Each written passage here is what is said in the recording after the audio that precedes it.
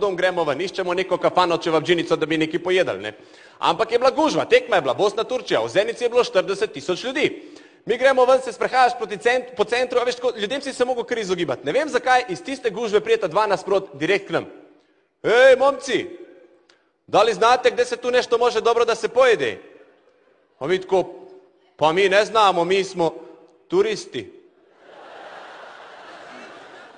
Prav, pa odakle ste? Pa mi smo iz Slovenije. A res stari, mi dva smo iz Protoroža.